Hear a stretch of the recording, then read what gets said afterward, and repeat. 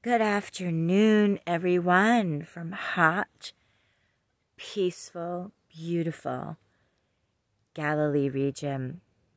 Well, I certainly did not expect to be talking about the war here on my retreat, but it's a time of reflection, and I'm going to be faithful to just bring forth whatever God puts on my heart to share Many, many, many have said, We stand with Israel.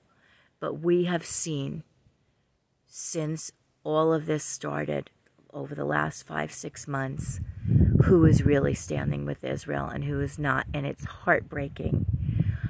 And only God can give revelation of his people, Israel, his covenant with Israel, the land promises. It is through the nation of Israel that God chose to be the, the eye of the universe, so to speak, the center of the world. You've heard that expression, all eyes are on Jerusalem. Israel pr- plays a key role in the world, and I am married to Israel. God brought me home. You know, when I I moved here when I was 44, turning on 45, and my life has blossomed over the last 15 years because I may have been walking towards my destiny, but when I moved home to Israel, I was in my destiny. There is a difference.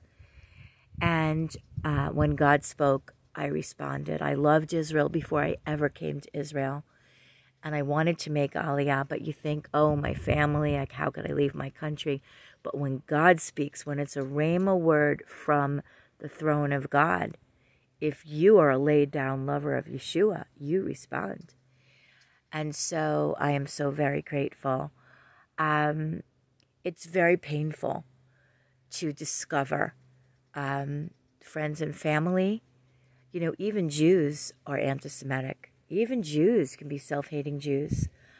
And um, on my mother's side, on my birth mother's side, I'm Jewish on both parents they were not at all practicing Jews in any way, shape, or form. And so I realized the other day, wow, I need to repent. You know, I'm I'm not anti-Semitic, God. I mean, but it's important though that as Jews we do look at our if there is any anti-Semitism. So I I look at that, um, and I had a big breakthrough, which I'll go through another time. But my mother's side of the family, there may definitely have been um, and may still be. I don't speak to my aunts, not because I have anything against them. I just, a lot has happened, but um, there's they didn't grow up with any kind of Jewish upbringing, though they are Jewish. And there may even be anti Semitism, they may even be self hating Jews. So I'm saying this to say that it's not just a Gentile who's anti Semitic, it can be a Jew that's anti Semitic. And I repent all the way back to the sins of Adam to make sure I cover the bloodline there on my mother's side. And so let's be faithful stewards of our one of a kind life. And uh, I am praying for all those who do not yet have a revelation of God's love for Israel, his plan. Israel is his bride. Oh, yeah.